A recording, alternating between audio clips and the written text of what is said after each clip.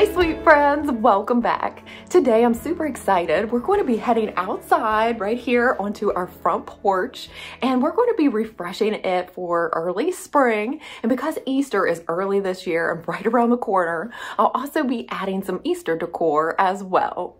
If you are new, hi, my name is Amy and welcome. I'm currently in my spring decorating series, so if you happen to miss any of those videos, don't worry, I'll have them linked down below in a playlist that you can just click on and continue watching if you'd like. As far as today goes, we'll be grabbing the cushions that we stored away for winter, getting them back on our outdoor furniture, bringing out some really fun festive pillows, adding a new mat to the front door, a wreath, and also I'll be sharing sharing a fun DIY planter idea that I'm excited to share with you. So I hope that you are excited to see how it all turns out.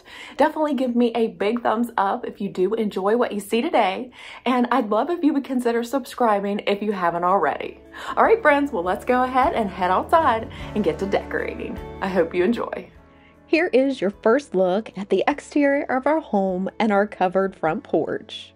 We love having this extra space and it provides the perfect outdoor extension to our home. The weather today, unfortunately, is dull and gloomy, and when I pulled up the weather channel, our area could have possible snow flurries. So I guess Mother Nature didn't get the memo that I was decorating today.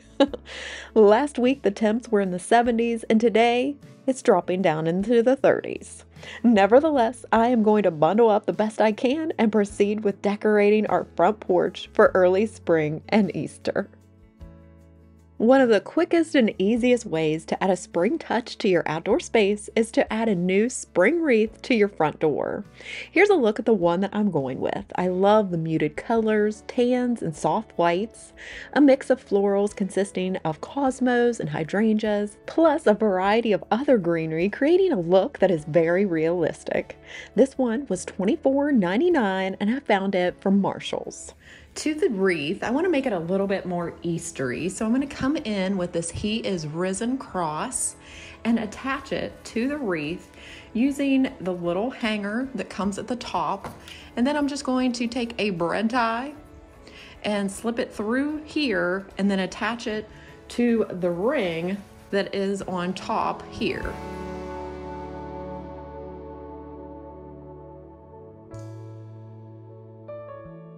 And then you just work with it and nestle it inside the, the greenery.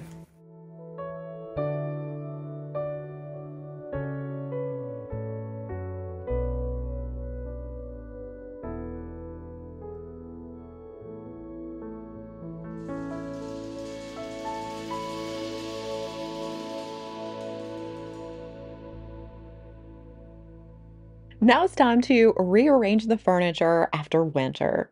Now, during that time, I like to shove them as close to the house as possible so that they're a little bit more protected from the elements. Now, both the rugs and the furniture are from Amazon, so I'll have them linked down below. They have been really great quality pieces at affordable prices. Now, once I get all the pieces back in place, I'll grab the cushions. Surprisingly, I found that storing them inside extra large yard bags works the best, and it keeps them nice and fresh all winter long until we're ready to use them once again in the spring. One of the best features on these cushions are the Velcro straps. I love that if we do have a gusty wind or if someone stands up quickly, the cushions are not going to slide around and fall to the ground, and instead will stay nice and secure on the furniture.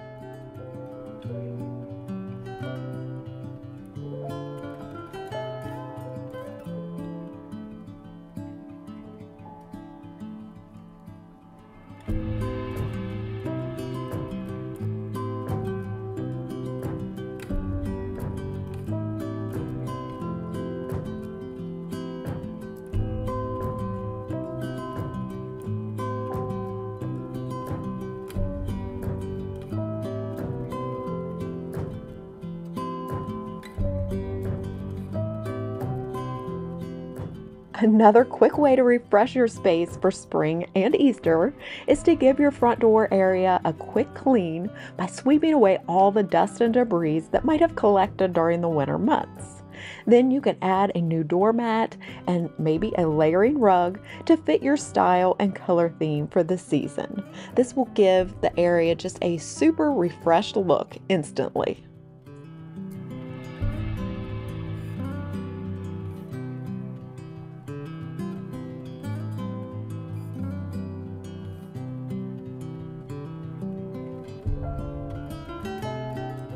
The layering rug and the mat that I'll be using are from Walmart. They are part of the My Texas House collection. This accent rug, the Milford stripe, is 24 by 36 inches, which makes it the perfect size for layering underneath this adorable scalloped edge coir doormat. Although these colors are very neutral, the stripe detail along with that scalloped edge to me screams spring. And after a quick sniff from Nyla, I think she agrees. If you have a long expansive wall of siding like we do, you can grab some of these metal siding hooks that allow you to hang wall art, which will instantly draw a little bit more interest and attention to that area. Remember to make sure to choose a piece that is outdoor safe if you don't have a covered porch like we do. But in our case, I chose this metal bird and leaf piece to coordinate back to the color of our front door, as well as bring in that sense of spring with many birds perched on the leaves. To fill in that small little corner next to the front door, I'm adding this porch board.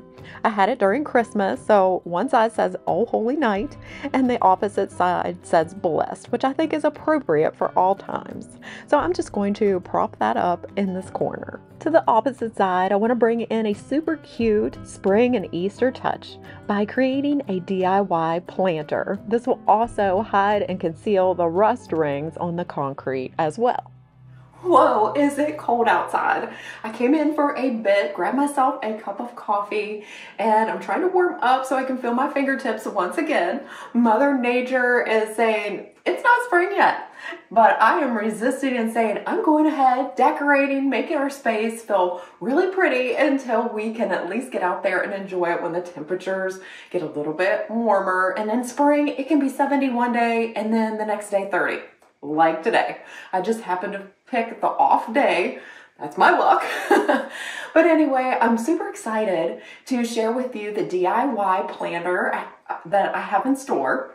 I think it's going to turn out really super cute. And then when it gets a little bit warmer, we can switch out the faux flowers for something real. We will be putting it all together inside and then we'll take it out and place it right next to the front door for a cute little display for Easter. I did want to give you an update on Moko.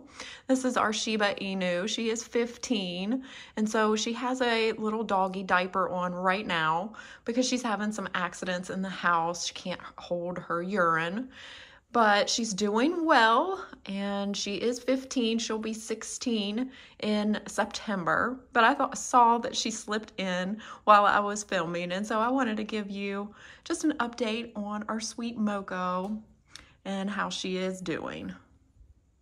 All right, so starting off, here is the planter that I just recently picked up from Michaels. I love this fluted detail.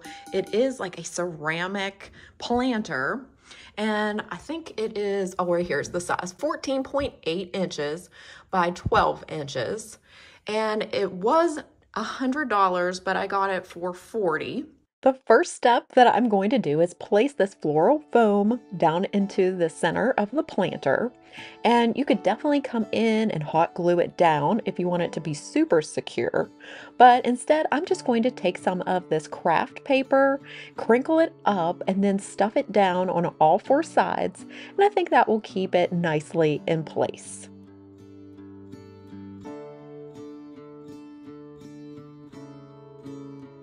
Next, I'm going to set a 14 inch grapevine wreath over the top. Now, I love this because it has lots and lots of texture and it's a contrasting color to the pot, and it just really focuses your attention. Directly in the center of the planter, I'm now going to place this flocked 14 inch bunny that I picked up from Walmart. To secure it to the floral foam, I'm going to take this mini dowel rod and snip it in two, creating a stake that can be used to secure the two pieces together.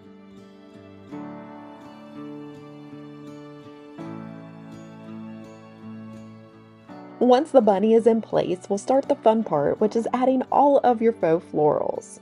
Starting with your tallest stems, we'll arrange them behind the bunny. I chose this one because it reminded me of palm leaves, which are perfect for Easter. Now for the fern, I don't think I want all of them towards the back. So I'm gonna break off a few and all you do is just go around and around in a circle like that and then we'll break right off.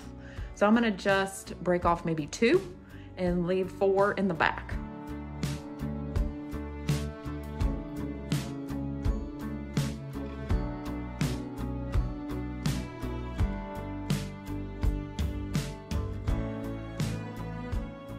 The next floral are these beautiful white ones. I think this will look really pretty. And I also love just the difference in the greenery. So I kind of just spread it out a little bit and I'm gonna stick that in the back.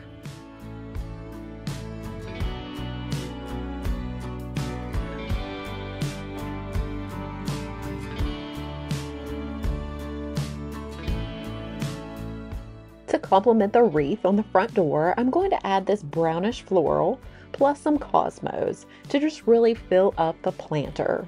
Now both of these flowers I have sprinkled within our home as well, so I think it's going to give a very cohesive and intentional look, starting right from the front door area and into the rest of our home.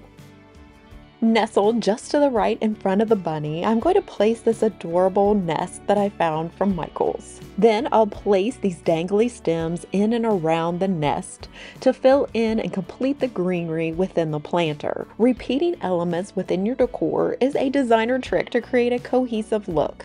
So if you remember, I have birds in the wall art outside, and now I'm pulling in another bird element with a nest and speckled eggs. Another important tip when working with or arranging faux florals is to intertwine and mix the stems. Once everything is in place, go back and intertwine the pieces for a more uniform look. I absolutely love how this turned out. It was super fun to put together. I'd love to hear what you think of it. I'm going to set it right here next to the front door, and I just think it fits the space perfectly. Now we can move on to just adding some textiles and fun decor to the rest of the furniture here on our front porch.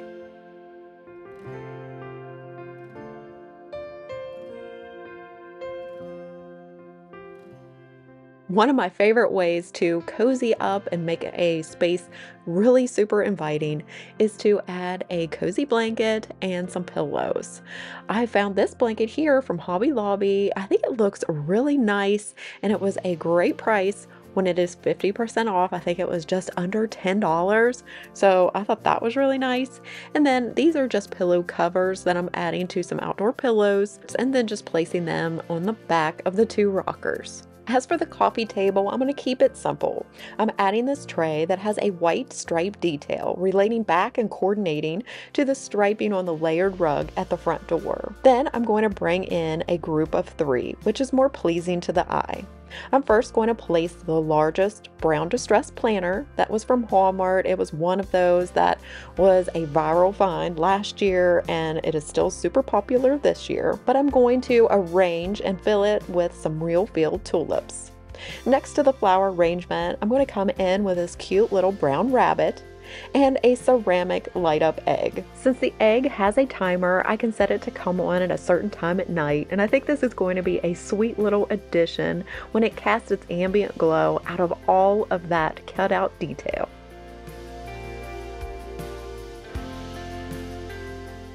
I have this blanket ladder here that kind of separates the two spaces and adds a little bit of height.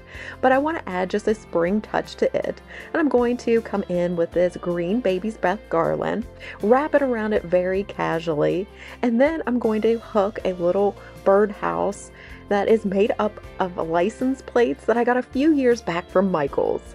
It's one of my favorite pieces that I like to bring out every spring.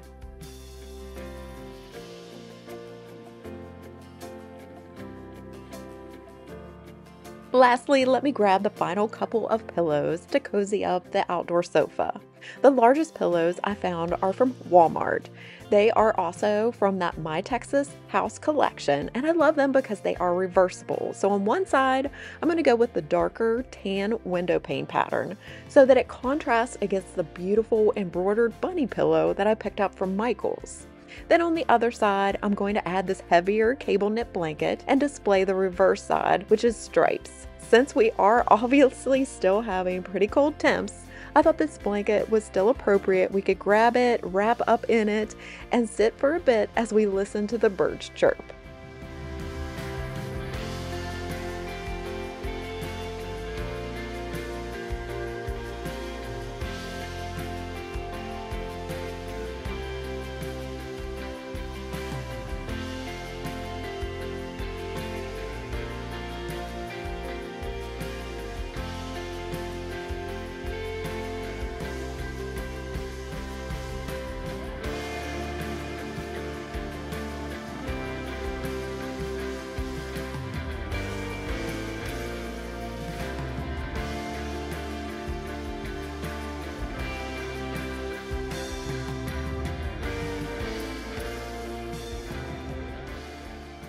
Right, sweet friends, that pretty much wraps up the decorating for early spring and Easter out on our front porch. You'll have to let me know what you thought and what area was your favorite. I'd also love to hear if you plan on recreating that DIY planter. I really love how it turned out. I'm really excited to get back out there in a few weeks once it warms up and we can start cleaning and also decorating with real flowers. So as we end our time together, I always love to go to God's Word. Now today I'm sharing one of my favorite Psalms, which is Psalm 34, verses 1 through 3. I will exalt the Lord at all times. His praise will always be on my lips. I will glory in the Lord. Let the afflicted hear and rejoice. Glorify the Lord with me. Let us exalt his name together. I thank you all so much for joining me today. I appreciate you taking the time out of your day to spend it with me. And I thank you so much for all your sweet comments and support. You truly mean the world to me. I hope you have a fantastic rest of your day, and I hope to see you back next time for more decorating or shopping for home decor. Well, take care and God bless, friends. Bye and happy Easter.